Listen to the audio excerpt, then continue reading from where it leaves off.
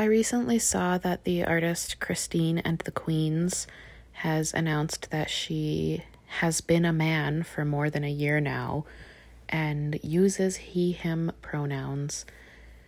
And it got me so depressed because I really like her and her music, and I loved the representation that she was a butch, gender nonconforming, whatever you want to call it, woman, um, obviously a lesbian, um, out there existing, and she's just transing away the gay.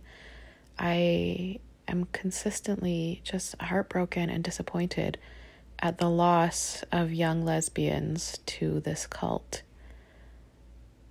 It's so incredibly frustrating to me that in 2022 when when lesbians should be proud and happy to be who they are um, in a climate that is mostly accepting to them they're transing away the gay.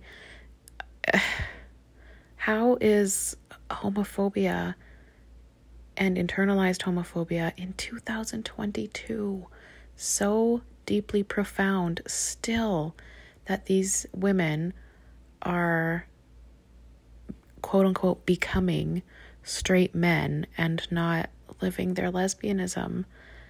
Uh, it breaks my heart and it's so so hard for me to relate even though I think I'm a pretty empathetic and sympathetic person I struggle with it so much because I came out 19 years ago in a much different climate when it comes to gay people. I was 15 and I went to Catholic school and I had religious parents and I came out anyway. And I have consistently lived my authentic true self for 19 years. And I survived it and I thrived in it. And yet in 2022, young women are transitioning themselves to no longer be gay, to be lesbians. I wish I could put my finger on what is going on so profoundly here that there is still so much like shame and despair in being a homosexual woman for these women, not for me.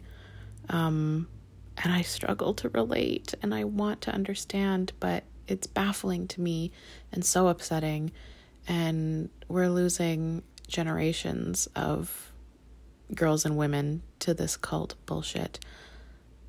And yeah, it's so depressing. And I'm praying that the tides are changing it seems like maybe they're kind of starting to in some way, but I think it's more starting to change when it comes to children and athletics and not necessarily the general population.